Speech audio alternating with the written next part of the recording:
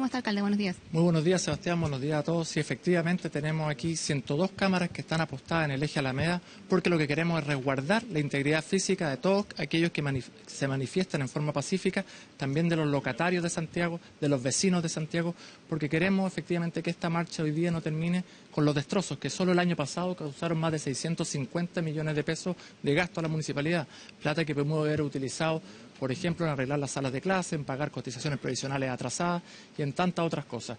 Nosotros estamos actuando en forma coordinada con carabineros, las imágenes quedan a disposición de ellos y del fiscal, porque nosotros queremos proteger a aquellos que marchan pacíficamente y también perseguir a los que causan destrozos y autos violentistas.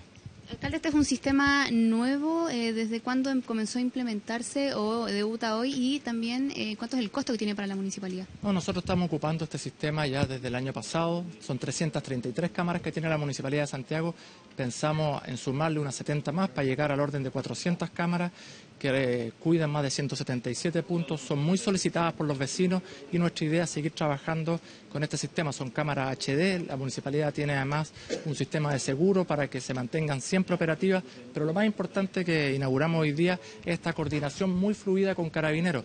Tenemos personal de la institución acá, dos, efectivos de carabineros en forma permanente para eh, actuar muy coordinados con ellos y ante cualquier acto violentista, terrorista o acto delictual podamos nosotros operar de la forma más eficaz posible con nuestros móviles de seguridad y también con los efectivos de carabineros. Los municipios somos coayudantes en materia de seguridad y nosotros nos tomamos a pecho ese rol y queremos ser coayudantes activos.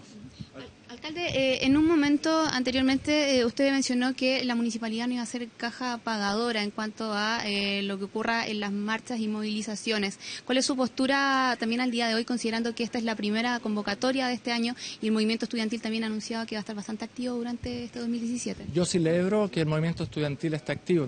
yo creo en el derecho a manifestarse, que los estudiantes puedan llevar a la luz pública su inquietud y demanda me parece perfecto, pero no siempre tiene que ser la comuna de Santiago la que sufre los destrozos y los embates de los minoritarios que causan aquí disturbios y, destrozos.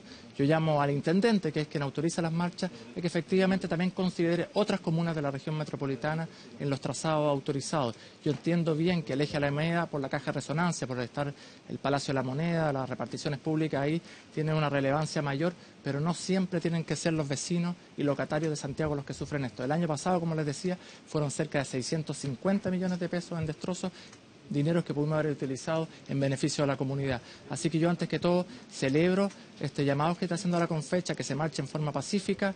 Eh, aquí nosotros instauramos hoy día esta coordinación fluida con carabineros para poder perseguir a aquellos que causen actos violentistas y cuidar a aquellos que se manifiestan en forma pacífica y lo más importante, cuidar a nuestros vecinos y nuestros locatarios de Santiago que han sufrido el embate de las marchas los últimos 10 años.